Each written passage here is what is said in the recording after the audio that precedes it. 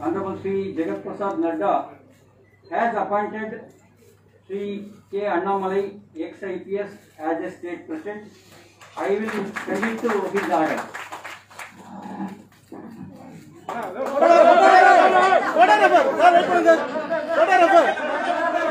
Whatever, sir.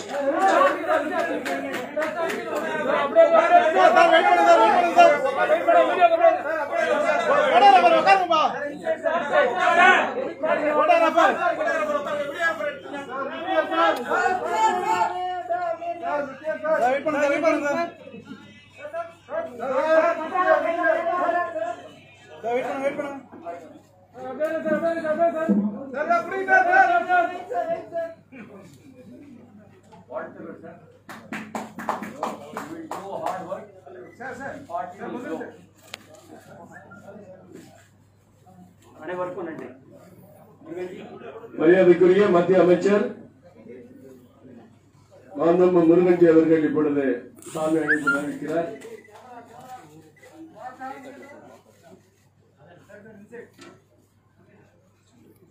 தங்களிடம் இப்பொழுது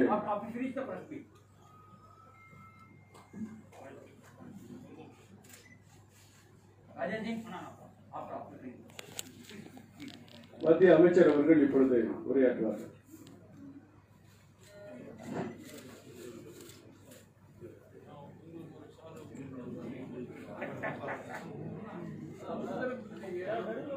மரியாதைக்குரிய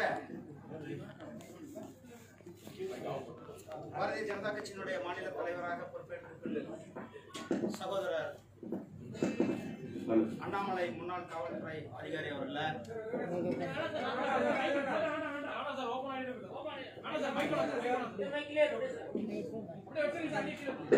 இந்த நிகழ்ச்சிக்கு வருகை புரிந்திருக்கும் பாரதிய ஜனதா கட்சியினுடைய தேசிய பொதுச் செயலாளர் மரியாதைக்குரிய அண்ணன் சி டி ரவி அவர்கள தமிழகத்தினுடைய இணை பொறுப்பாளர் மரியாதைக்குரிய அண்ணன் சுதாகர் ரெட்டிஜி அவர்களை பாரதிய ஜனதா கட்சியினுடைய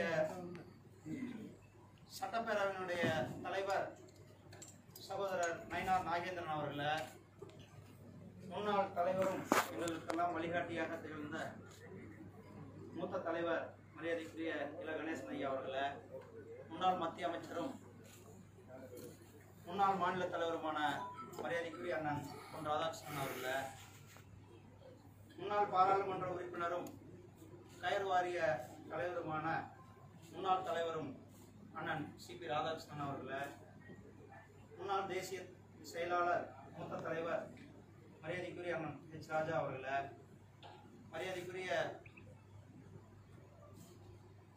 மாநிலத்தினுடைய துணைத் தலைவர் ஐயா விபி துரைசாமி அவர்களை இங்கு வருகை புரிந்திருக்கும் பாரதிய ஜனதா கட்சியினுடைய நிர்வாகிகளை ஊடக சகோதர சகோதரிகளை உங்கள் அனைவருக்கும் என்னுடைய அன்பு கலந்த வணக்கத்தை தெரிவித்துக் கொண்டு மார்ச் மாதம் இரண்டாயிரத்தி இருபதுல மாநில தலைவராக பொறுப்பேற்கும் பொழுது சொன்ன ஒரு காரியம் தமிழகத்தில் பாரதிய ஜனதா கட்சியினுடைய உறுப்பினர்கள் சட்டமன்றத்தில் நிச்சயமாக அமர்ந்திருப்பார்கள் என்ற அந்த கோஷத்தை வைத்து எங்களுடைய வேலையை தொடங்கியிருந்தோம்.